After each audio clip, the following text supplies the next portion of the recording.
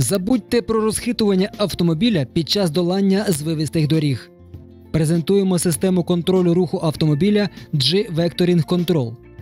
Інженери Mazda розробили систему, яка додає плавності та комфорту руху.